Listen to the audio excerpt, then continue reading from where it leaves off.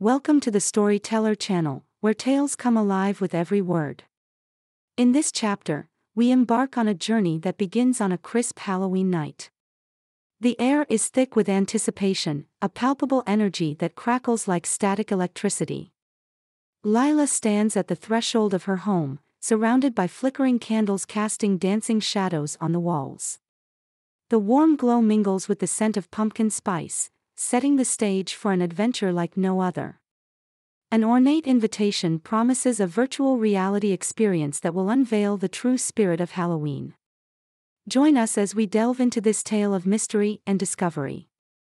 As the story unfolds, Marcus arrives, his skepticism evident in the way he adjusts his glasses, peering at the invitation as if it were a puzzle to be solved. His tension is palpable, a reflection of his doubt.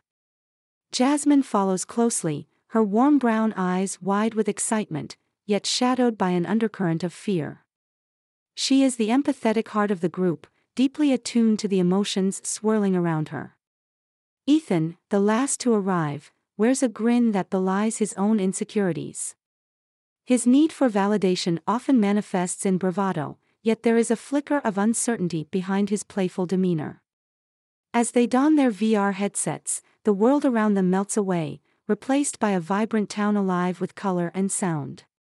Glowing pumpkins illuminate their path, and eerie whispers echo in the background, creating a whimsical yet haunting atmosphere. Their first encounter is with a jack o' lantern, its carved face twisted in a grimace that seems to speak of unfinished business. The spirit's voice, a soft, crackling whisper, fills the air, revealing its sorrow and the weight of its unresolved issues. Lila feels a shiver run down her spine, the initial excitement of the adventure giving way to a creeping unease. The friends exchange glances, the tension in the room thickening as they realize that the spirits are not mere decorations but entities with stories that beg to be told. This is not just a game, it is a journey into the depths of their own fears and insecurities. As they stand before the jack o' lantern, Lila's heart races. The flickering candlelight around them seems to dim, casting long shadows that whisper of the challenges ahead.